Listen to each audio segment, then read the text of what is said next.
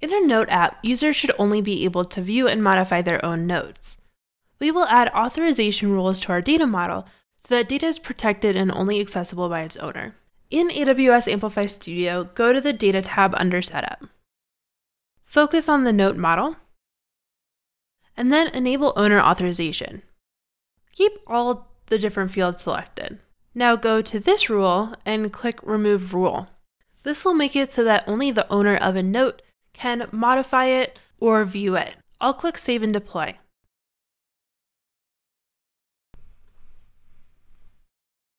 Once your changes are deployed, run Amplify pull to sync your changes locally. Our app will actually work as is. We don't need to change any application code.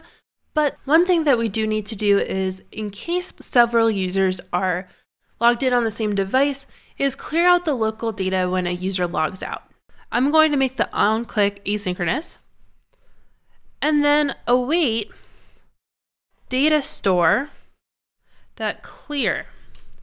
And that imported data store from AWS Amplify. What this will do is clear out the local data once a user signs out. Then data store will query the database instead of going to the local data first.